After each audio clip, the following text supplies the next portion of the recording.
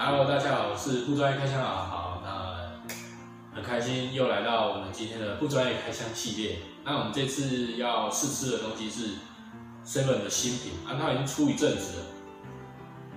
首先，我们来先吃牛奶糖的熟布丁，生有牛奶糖熟布丁。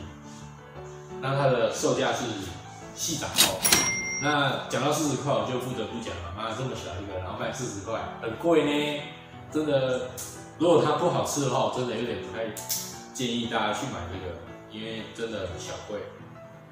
每次试吃的时候，我都犯一个错误，就是吃的太大口，所以每次都吃太大口，然后就在那边摇摇摇，然后咬个十几二十秒。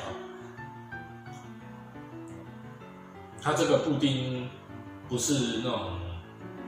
我们台湾那种统一鸡蛋布丁，它这个布丁吃起来比较类似那种，也不能说是烤布雷，可是又有点像，它滑滑嫩嫩的，然后它布丁很绵密，然后布丁里面的牛奶糖的味道其实没有那么重，就一点点，可是它外面的那些汤汁啊，那些糖汤汁啊的牛奶糖味道就真的还蛮重。刚我打开吸了一口。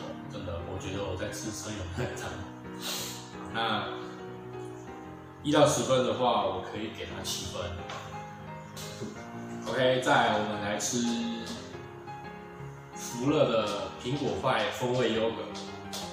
那它其实还蛮大的，它的售价是三十五元，但是因为尝鲜的关系，所以它现在这个卖只卖三十二块。小三号。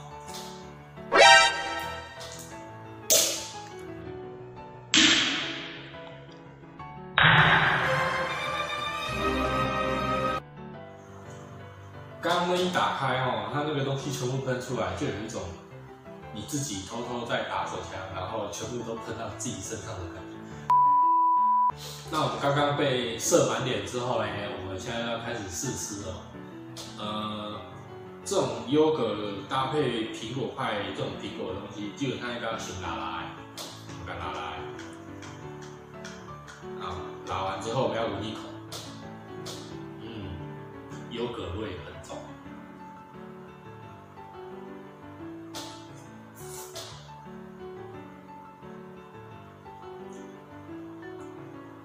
它优格的味道很浓，然后其实你刚这样子吃起来，苹果的味道没有那么那么突出啊。不过既然他都说是苹果派，我觉得我个人认为，我吃不出什么苹果派的味道。我觉得它里面苹果派跟优格已经被分化开了，所以一到十分，我给它六分。为什么给六分？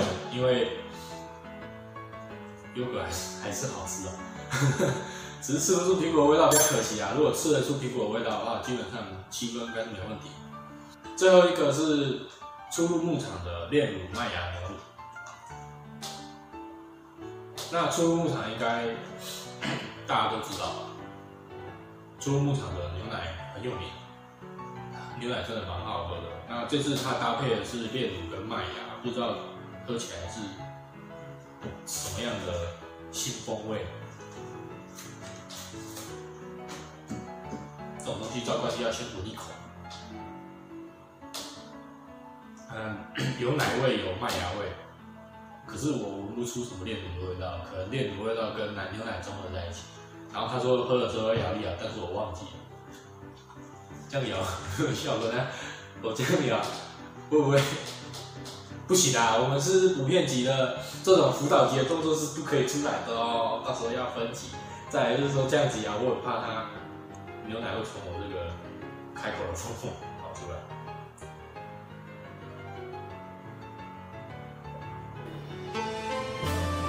哦，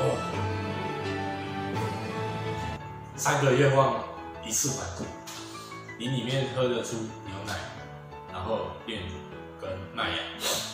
你一进去是牛奶跟麦芽的味道先出来，然后你才会喝到炼乳的感觉，然后那个炼乳的后劲，讲后劲感觉有点怪怪，然后在吃什么麻辣锅，但是不得不讲那个炼乳的后劲在我嘴巴残留的感觉真的很棒。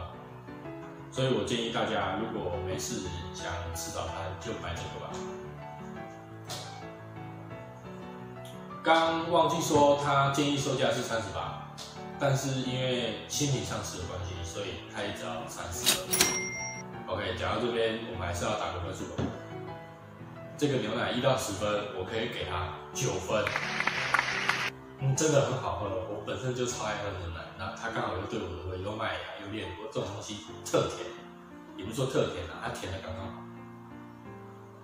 那评完分数，我还是要再补充一点，它这个乳含量五十趴，那我刚刚这样子喝起来，我真的觉得它很好喝，而且它三十八块，说贵不贵，说不便宜，其实也不便宜。乐事鲜乳小盒的这么小的，好像也也要三十几块，三十二、三十五。所以以它这种这种这种包装、这种量，然后再再加上出入牧场这种牛奶的好吃程度，我觉得它已经可以吊打市面上现在所有的牛奶。那我的影片今天就到这里，如果喜欢影片，可以帮我按一个赞，帮我按个订阅。我是哈哈，大家拜拜。